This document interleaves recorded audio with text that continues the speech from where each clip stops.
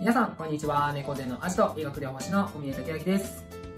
今日はですね、先日実施したフルボディワークアウトオンラインの姿勢改善プログラムのアーカイブをですね、動画に残しましたので、ぜひ皆さんにご紹介したいと思います。体の柔軟性を高めたり姿勢を正していくようなエッセンスの詰まった30分になってますのでぜひ皆さん動画を見ながら一緒にやってみてくださいそれではチェケラーよし、皆さんすいません。お待たせしました。それでは始めていきましょう。今日は、えっ、ー、と、猫背改善と、えー、巻き型改善の上半身にね、特化した、えー、ワークをやっていこうと思いますので、まずちょっと皆さん立ち上がっていただいて、今日の体のコンディション、横から見た時の姿勢だったりとか、胸をこうね、開いた時の開きやすさ、手を回した時の回しやすさそんなのを少し感じてみてください。あとは呼吸ですね。呼吸息を吸って吐いた時の状態。入りやすさ入りにくさ。そんなのも少し感じてみていただければと思います。大丈夫でしょうか？よし。ではですねまずは胸の前ですね。巻き型になっていると前の筋肉ぎゅーっと短縮してこうね肩がぐっと前に入っていってる方非常に多いのでまずは胸の前ほぐしていこうと思いますのでよくやってる大胸筋からスタートしようと思います。まずはここですね。胸の前ここをバシッと手を当ててギュッとつまんじゃいましょう。つまんだ状態で肘で円を描くように。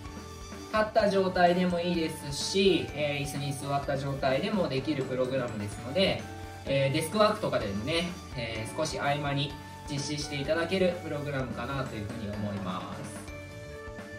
そう。でもし余裕ある方は手のひらを外向きに向けて回していただくのとできるだけ肘のポジションを前で回すのではなくて後ろ側まで持っていっていただけるとより大胸筋のね伸び感じられやすくなると思います。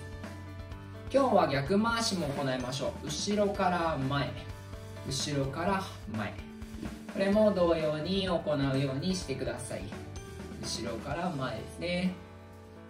OK あと3周ぐらいしましょう。1 2 3OK です一回楽にしてください。そしたら以前にもありましたがここの大胸筋の付け根ですね。胸骨の脇っちょから出ている大胸筋。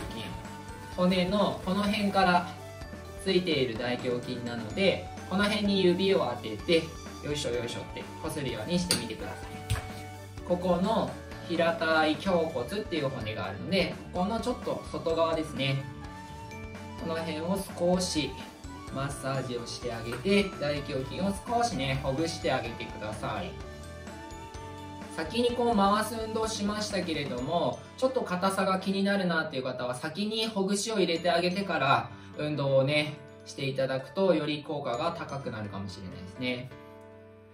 よし OK です。そしたらですね今度は小胸筋いこうと思います。小胸筋は鎖骨の下にまず手を当てていただいたらそのままスルスルスルっと横に動かしていただいてここに一つくぼみがあると思います。くぼみのちょっと横骨の出っ張りが肩甲骨右甲突起です。カラスの突起ですね。でその下側です。よいしょ。その下側にちょっと硬いね筋肉があると思うのでこの辺を少しまずは手でほぐしてあげてください。このような感じでしっかりとほぐしていきましょうとごめんなさいね。一回皆さんミュートにさせていただきます。そしたらですね先ほど同様にぐーっと肘で円を描くように回してください。で先ほど同様に小胸筋っていうのはできるだけ肘が高いポジションで高いポジションでかつ後ろに行ったタイミングでよく伸びますのでこのポジションまでできるだけ持っていきながら回してもらった方がより効果が高くなっていきます。できるだけ肘でぐーっと大きく円を描くようなイメージで実施をしてみてください、ね、これはね何度も紹介しているのでだんだんね皆さん説明なしでもできるようにはなってきてるかなと思うんですけれども初めてね、えー、受講していただく方もいらっしゃると思いますのでこの辺は少し丁寧にお伝えをしていきます。よし。OK です。そしたら今度はですね、えーと、鎖骨の下にそのまま内側から外側にかけてマッサージをしていってください。内から外に対してマッサージです。これは大胸筋の上の方ですね。鎖骨部繊維っていう風にあるんですけれどもそこに対してのマッサージ効果にもなっていきますし、えー、もし余裕がある方は少し天井を見上げてかつ、えー、皆さん右側にアプローチしていただいている方は左側を少し向くようにしていただくとここの顎からですね鎖骨についてる後傾筋っていう筋肉も一緒にほぐしていくことができますので余裕がある方はですね天井を見上げて右側やっていただいている方は少し左側を向くようなイメージ。左側をマッサージしていただいている方はちょっと右側を向くようなイメージ。でやっていただくと随分変わっていくと思います。では一度手を楽にしていただいて一度肩をすくめてストンと下ろしましょう。皆さんご自分の、えー、カメラ越しにね見える方は自分の肩の高さをチェックしてみてもらうと随分とスタートした時と比べて肩の下がっている感じがあると思います。じゃあ軽く回してみてもらうとそれだけでも左右差がねまずあるんじゃないかなと思いますのでちょっと確認をしてみてください。では反対側いきますね。ではまずは大胸筋の筋肉に対して手を上げた状態で胸の脇ここですね。バシッと手を当てたら指でギュッとつまんでください。つまんでいただいて肘で円を描いていきましょう。まずは前から後ろに今日は回していってください。余裕がある方手のひら外側。肘の位置高くより後ろに持っていけると理想的です。できるだけ後ろに大きく大きく回していってください。いい。ですね。いい感じ。そしたら今度は後ろから前に持っていきます。後ろから前。に後ろから前持っていくと手のひら外抜けるとちょっと大変なので後ろから前の時はあんまり手の向きとかは気にせずに肘の位置大きく回すように意識をしてみてください。よし OK です。では大胸筋のここのね胸骨についてる胸肋部の繊維を少しほぐしていきましょう。このまま肋骨の間に指をこのように入れてもらってもいいですしグーにしてここの拳のねここでクリクリしてあげても OK 横から見るとこんな感じかな。こういう感じでも OK 指を立てて指の腹でこうやってこすっても OK ですしグーにしてこうやってこすっても OK です。硬くなっている方はちょっとね押すだけでも痛かったりするのでその辺ね少し感じていきながら、えー、上から下からでも結構です。硬い場所を見つけて何度か何度か繰り返してください。よし OK です。では小胸筋に移っていきますよ。鎖骨の下です。にまず指を当てたらそのまま外側にぐーっと動かしていくと少しくぼみがあると思います。それのさらにちょっと先に肩甲骨の突起が出てきます。硬い突起ですね。その下に小胸筋のね筋肉繊維がありますんでその硬い突起のちょっと下あたりをこういう方向に少しマッサージをしてあげてください。真ん中から外側に向かって外から内こういう動きですね。でマッサージをしてください。筋肉の繊維をこう横断するようにですねマッサージをしてもらうといいかなと思います。この時胸がこう丸まっていると小胸筋に対してマッサージ刺激加わりにくいのでしっかりと胸は張って起こしておくようにしてもらうとよりストレッチ効果ねマッサージ効果を生んでいきます。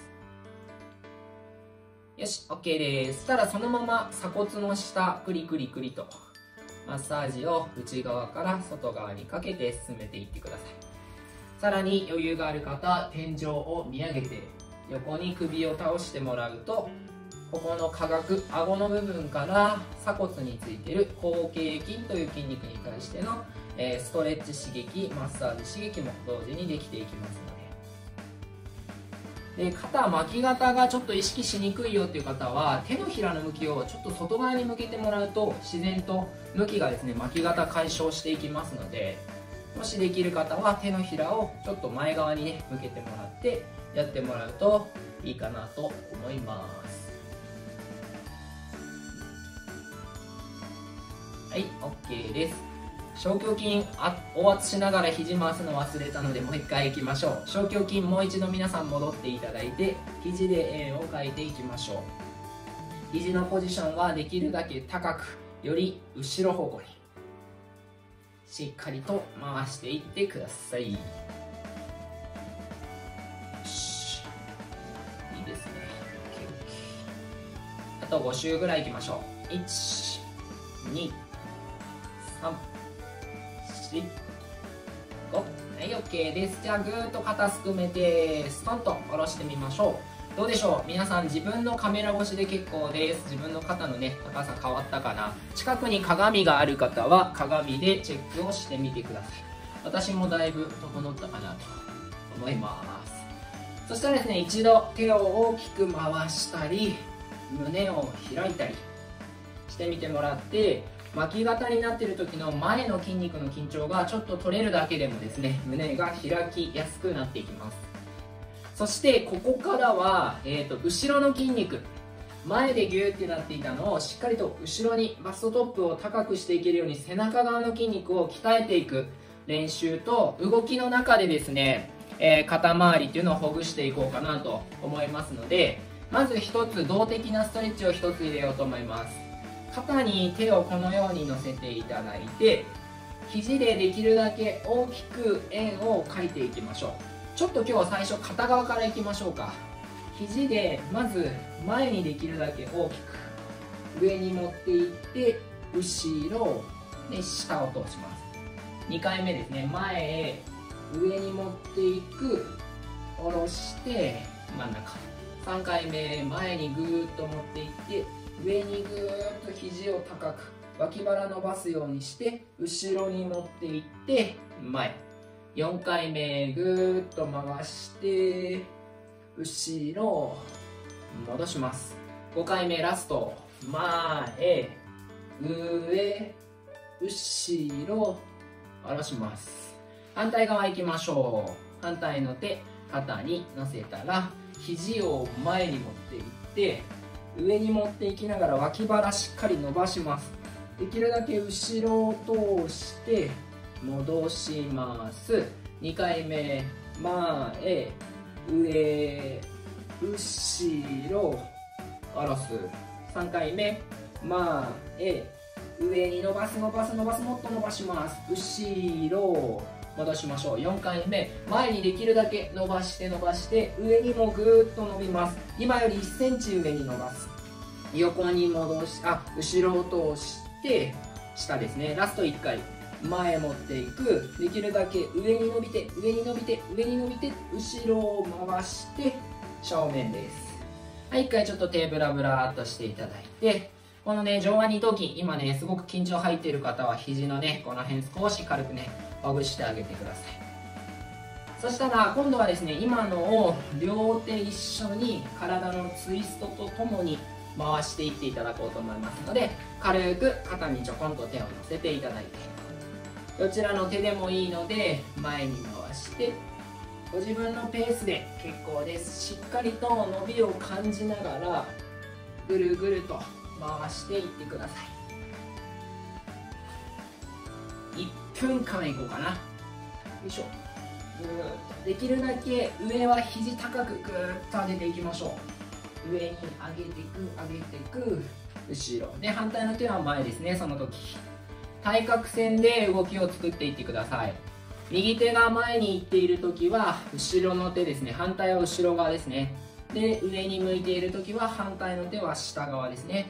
ぐるっと体のねじりも含めてどんどんとね動かしていってください。あ OK です OK です。皆さんいい感じそう。あと10秒頑張って。よいしょ。肘はできるだけ高く上げますよ。高く上げてもっと高く上げられる。はい OK です。ではちょっと手ブラブラっとしていただいたら軽く水分を取ってください。ここからね少しエクササイズの要素を増やしていきますので皆さん水分を補給していただいて体ね準備を整えていってください。それではですねまずはちょっと壁を使おうと思いますので壁にこのように手をつきましょうか。手のひらが下側に向くように指先中指が真下を向くように壁ドンします。壁にドンと。で体の向きは壁側を向くようにしてください。そこから体の向きを徐々に徐々に壁から離していくイメージ。もう一回説明しますね。壁に中指が下を向くような感じ。このように手をつきましょう。で肩の高さ肘の高さ手首の高さが極力一緒になるようにしてください。意外とね皆さん高くしている方意外と多いのでここがまっすぐになるようにしてください。そしたら壁に手をついたまんま向きを胸をこう開いていくようなイメージで向きを変えていってください。でできたら、えー、左手壁についていただいている方は左の足が左のね肩の真下にあるようなイメージです。でここの胸を前にぐーっと押し出していくような感じで少し伸ばしてみてください。OK ゆっくりと壁の方を見てもらってからゆっくりと手を下ろします。反対の手壁にこのように手をつきましょう。こういう感じ。で向きを徐々に徐々に変えていきます。この時親指のこの辺が画面が反対側見てる人分かりづらいですね。母子球って言われているこの辺が壁から離れていきやすくなるのでしっかりと親指側をしっかりと床面じゃない壁側にぐーっと押し当てておくようにしてください。そうするとここの前腕って言われている部分とあとはさっき使った上腕二頭筋ですね。ここの力こぶの部分。あとは胸の前が伸びていればいい感じです。ではゆっくりと壁の方を見ていただいて手を下ろしましょう。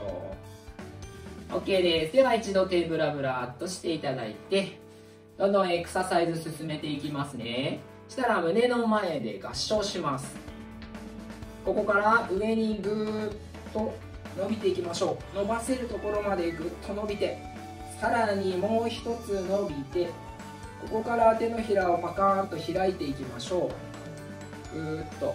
そして体の後ろで手の甲同士をぐーっと近づけてみてください。肩甲骨を寄せていくようにぐーっと手の甲同士を近づけます。そしたら一度脱力しましょう。もう一度胸の前で合掌。万歳していきます。たけのこニョッキです。ぎゅーっと伸びて伸びてもう一個伸びてそのまま手パカーンと開いていきながら体の後ろ手の甲同士を近づけていくような感じでぐーっと寄せますよ。もっと寄せて。もっと寄せられる。はい解放しましょう。ふうきついですね。あと3ついきます。胸の前で合掌はいこのまま上に伸びます。伸びて伸びて伸びてさらにもう1センチ伸びます。ぎゅっと伸びてそのポジションキープしたまま外にパカーンと手を開いていきます。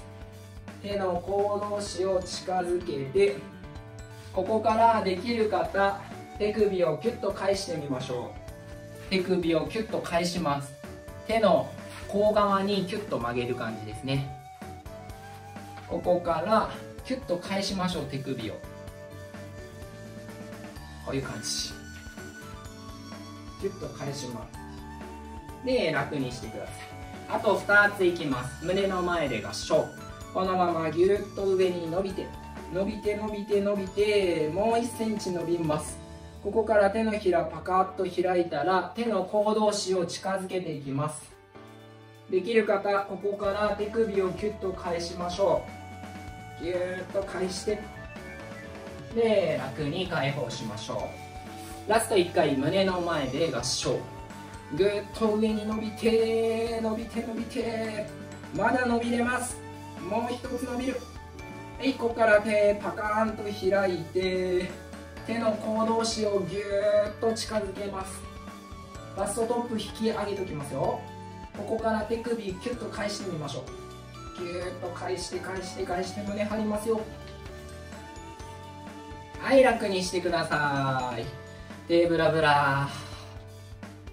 で重りは使ってなくても結構ここのね、えー、振り袖になってるね筋肉ここね腕のねこの辺だったりとか肩甲骨寄せていくっていうところでかなりね筋トレ要素になっています。ではさらに続けていきましょう。手のひら下で前習えです。ここから空手の押すってひ押すってやつね。ここから引いていきましょう。で手のひらパーだったのを軽くギュッと握るんではなくて軽く握り拳をしていきながら肘を後ろにグッと引いていきましょう。この時肘が上に上がっていくと肩前出てしまうのでバストトップをグッと上げていくようなイメージで引いてください。まずは引く動作から10回いきましょう。手のひら前でセットアップ。ではいきます。1ぐーっと引きます。で前に出して。2回目にぐーっと引きます。そうそうそう皆さんいい感じ。伸ばして3回目引きます。そう反り腰になってる人いないですかね。お尻しっかりとキュッと締めておきましょう。手のひら前出してもう一度キュッと。お尻をキュッとね入れるようにしてもらうと反り腰さんではなくなっていきます。では前に出して引きましょう。ぎゅーっと引いてください。バストトップ引き上げますよ。回数忘れた。あと5回いきます。引きます。ギュッ。そう。胸をねバストトップ引き上げていくように。手を前に出してあと4つ。ぐーっと引いていきます。そう反り腰にならないようにグッとね骨盤を後ろに倒しておきましょう。手を前に出して引きます。ぐーっと引いて引いて引いて。で楽にします。前に出してもう一度引いていきます。ぐーっと引いて。で手を前に出します。もう一度引きます。ここまでは皆さん大丈夫だと思います。一回手を解放しましょう。ここからですね引いたポジションから外に開いていきます。で親指だけ解放していいねポーズでいきましょうか。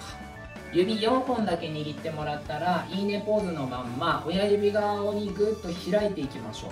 この時肘が体から離れていかないように。ではいきますね。まず手のひら下向きで前習い。ここから親指以外軽く握って肘を引きます。この時反り腰にならないように腰キュッとね丸めておきましょう。そしたら親指側にぐーっと開いていきます。開いて開いて開いて。で戻しましょうか。中央にもう一度手を寄せてもう一度開いていきます。ぐーっと肩甲骨寄せていきながらで真ん中に寄せましょう。3回目ぐーっと開いて開いて肘体から離れないですよ。そう戻して。でもう一回外に開く開く開く開く。戻して。もう一度いきましょう。ぐーっと開いて開いて開いて開いてまだいける。はい戻しましょう。あと3ついきましょう。はい開きますよ。外に外に外に。肘はぐっと寄せておきます。で戻して。あと2つ。ぐっと開きます。外に開く開く開く。中央に戻してちょっと脱力。もう一度いきましょう。ぐっと開きます。また数忘れたな。あと1回いきましょうか。脱力したらもう1回。開きましょう。ぎゅっと開いて開いて開いて。はい脱力です。結構です。一回ちょっとね脱力の練習したいので手ここで TT 兄弟のようにこう手を開いて。じゃあももに手を打ちつけるようにダラーンと。そうです。このままダラーンと。体力入ってる方はこの力抜くのがねあんまり上手じゃない方いるのでももをこう打ちつけるようにダラーンとできるようにしていくと肩の力とかね抜けやすくなっていきます。ではさらに進めていきますよ。これもよく出てくるやつですね。後ろでグリップします。手をねしっかりとグリップしたらできる方この手のひらが離れないようにぎゅーっと肘を伸ばしていきましょう。この時大事なのは胸をしっかりと開きながら伸ばしていくということが大事です。そして反り腰さにならないようにお尻はいつもキュッと締めておいてくださいね。でまずはここから肘を伸ばしたまま体から離す練習をしていこうと思います。この時に顔が一緒に前に出ていってしまう方非常に多くいますので顔のポジションをしっかりと肩の直下に置いといてください。この状態で体から手を離していくワークを連続で10回やっていこうと思います。ではいきます。せーの。1戻す2戻す3戻す4戻す5戻す6戻す7戻す8戻す9戻す10戻す OK です。今グリップしていた側と反対の組み方に変えてもらっていいでしょうか。今親指が上だった方を逆に組み直してください。これだけでねちょっと違和感があると思います。今のでもう一度やっていきましょう。ではグリップした状態でまず肘をぐーっと伸ばしましょう。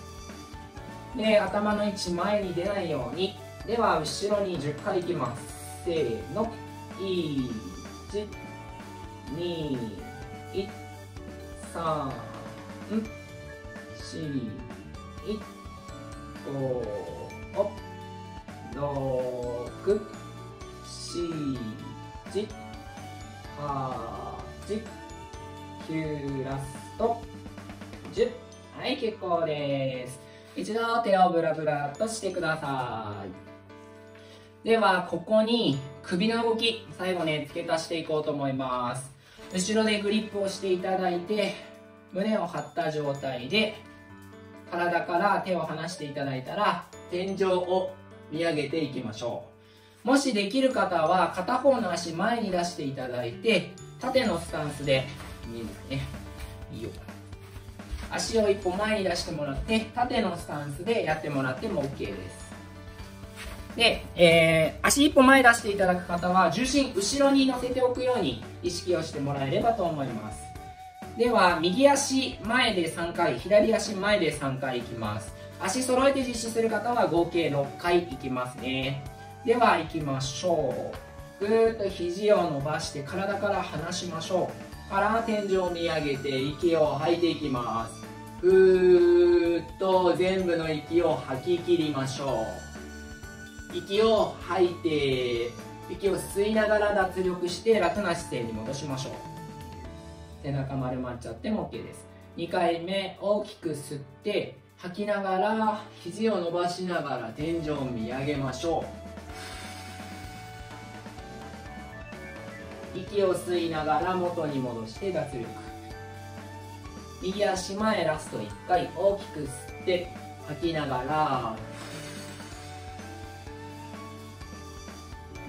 楽にしましょう。そしたらグリップの舵の方法と出す足を逆にしましょうかね。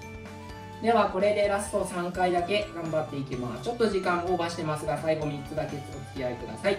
では息を吸って吐きながら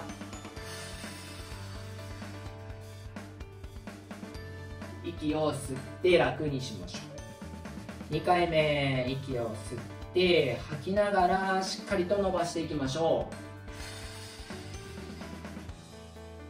う。楽にしてラスト1回いきましょう。せーの。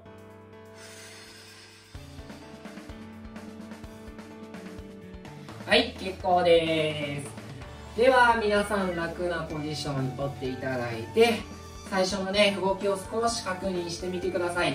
腕の回しやすさ呼吸の入りやすさ胸の開きやすさあとは姿勢が変わったなっていう方は横から見た時のこの感じがこういう感じになってればいい感じです。